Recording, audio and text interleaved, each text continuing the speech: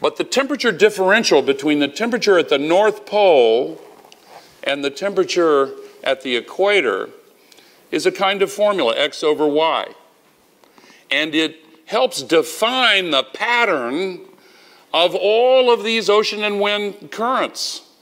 And we're changing it. Because even when the sun hits a glancing blow at the North Pole, it encounters ice and snow, and the ice and snow melts, and the Arctic Ocean is melting. And when it melts, the sun's rays don't bounce off anymore. They're absorbed by the dark ocean and the dark land.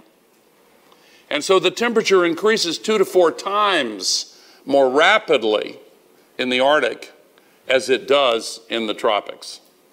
So all of these patterns are struggling to maintain the equilibrium that has existed for the entirety of our civilization's history, and they're now changing.